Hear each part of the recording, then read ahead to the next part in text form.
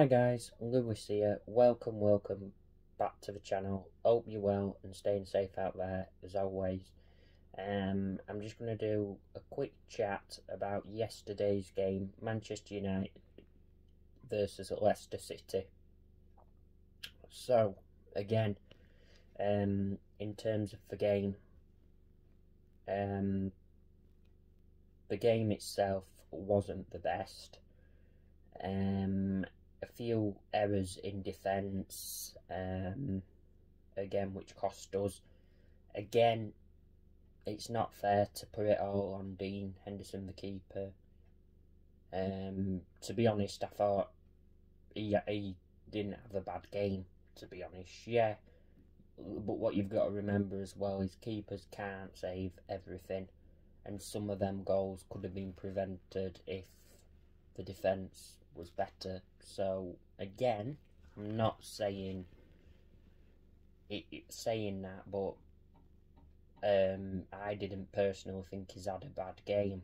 Um, and to come in and to do what he did, he did make some good saves as well. So really, I don't think it would be fair to target him personally and say it's his fault because it clearly wasn't.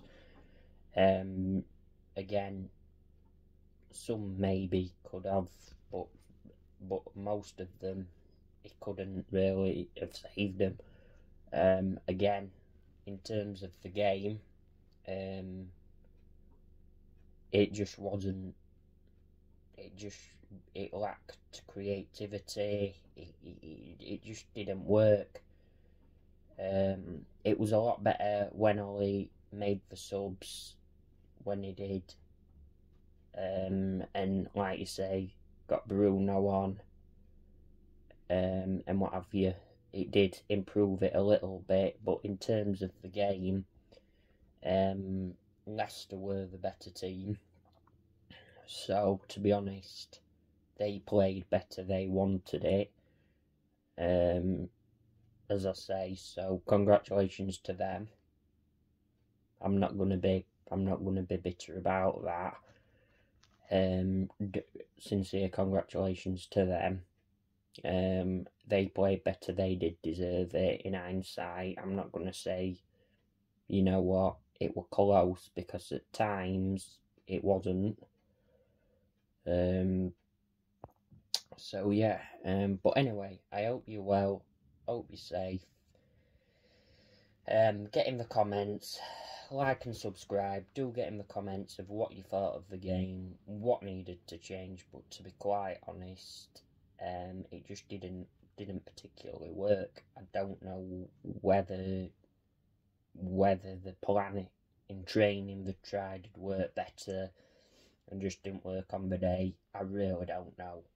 Um, but anyway, um, so as I said, do like and subscribe if you are new.